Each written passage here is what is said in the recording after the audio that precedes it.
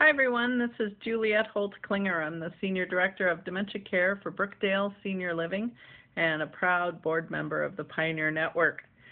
My friend Jeanne Heid Grubman and I are very pleased to be guides again this year uh, at the Pioneer Network Conference in Denver. And we will be presenting our uh, session on creating person centered life in assisted living on the last day of the conference uh, in the afternoon. It is an intensive session, four hour session. We're looking forward to an engaging afternoon of uh, sharing ideas, challenges, coming up with some great solutions. And as in the years past, um, all of our participants will leave the um, session with a good action plan to take back and uh, begin to change some things in their community. So we hope you all can join us uh, this year in Denver uh, at the Pioneer Network Conference for our Assisted Living Intensive. Thanks. See you in Denver.